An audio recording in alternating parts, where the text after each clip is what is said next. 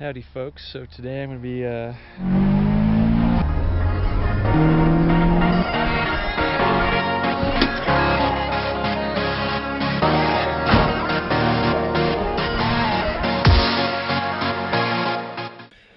Okay, I just uh, pulled the bucket shims out here and marked where they are. This is the LHS left-hand side. Now I'm going to flip it over and start, uh, well, chamber matching, I suppose. I got my metal cutting tools here. What are they called? I don't even know. Carbide tip metal cutting tools for the uh, die grinder here. I got this, you know, $40 Home Depot special, Husky. I like their stuff. You know, this is my first time doing this. So I'm going to be removing material from like here. I actually have the head gasket here, the STI head gasket. I'm about to unwrap and overlay it. Um, and then I actually have here, um, what number is this? This is a E25 cylinder head from some STI, but basically I'm going to be trying to make this one look like this one. And the difference is the diameter of the bore. This is something like 99 and a half millimeters across. And this one's like 92. So I'll be opening this up um, so that it looks more like this. I'm going to be leaving the valves in it so that I don't accidentally hit a valve seat, um, which is, you know, this part right here. This is where the valve rests. You, I wouldn't want to nick that. That would, that would be bad. And so I'm going to leave the valves in for this first part. And uh, yeah, I got my marker here. I'm going to trace on basically the, the size difference between EJ20 head and EJ25 head. Do that now.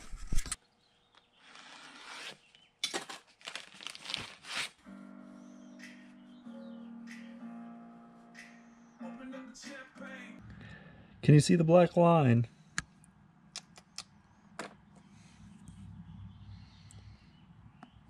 I need to take off that much material. Okay, I got my die grinder here all set up. Um, this is the tool I'm going to start with first.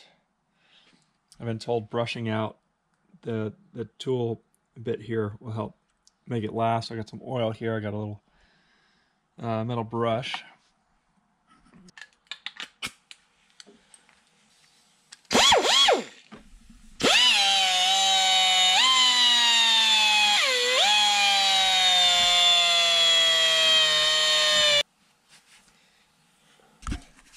All right, well,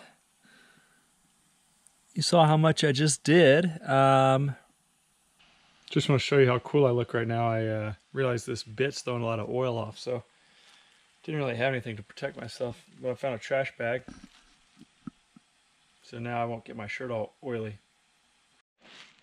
I'm not sure if anyone else will try and do this besides me ever, but um, probably because it's beats the hell out of paying to ship it and then paying 400 bucks to have it done. And really you know like there's really not that much material that needs to be taken off because you don't take off any of this. Um, but what I noticed is is that when I press this head gasket in make sure it's lined up. On the inside I'm actually not taking material all the way to the gasket. There's still a little bit a little edge there. Same on this side um, and there's actually more of a lip on the on the outside.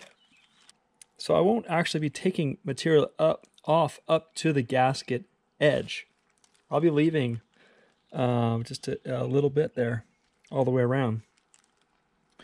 So that is good to know. I shouldn't take it, and this is where I'm at so far. I've kind of nicked both intake and exhaust valves, which is fine. The exhaust valves I have, I may have to get some intake valves uh, new intake valves. Got one side done. Um, I think. Okay, I just did. Let's point to it. This side here, and um, it went much faster. Um, Yeah, took about five minutes.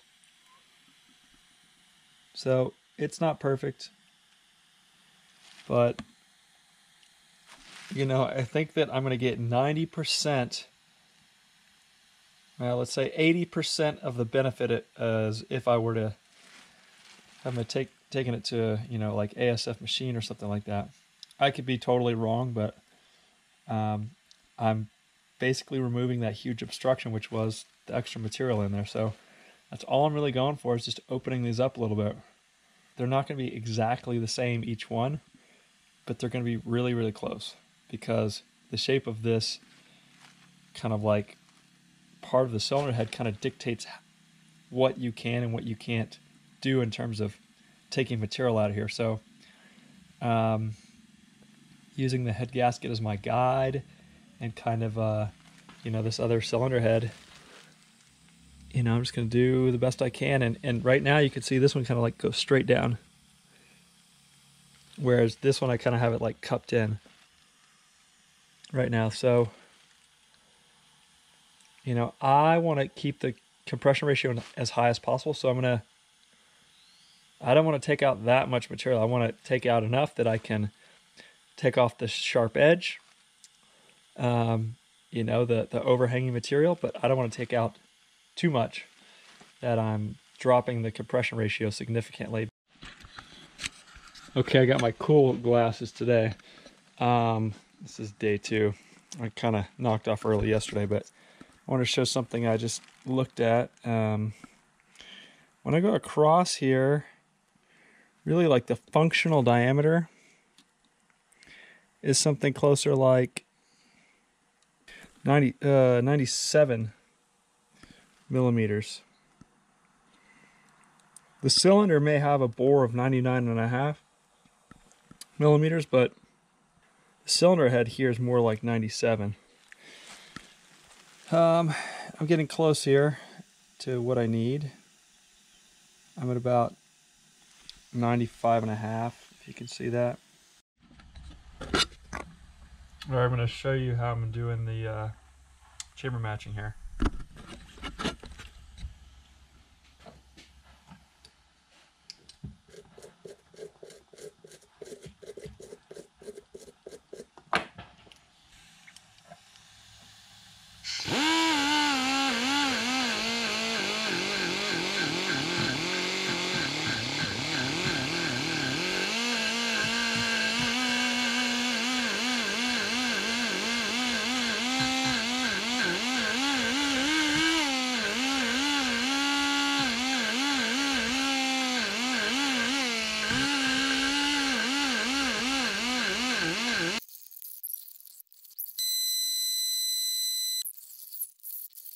Anyways, you can see the black Sharpie lines.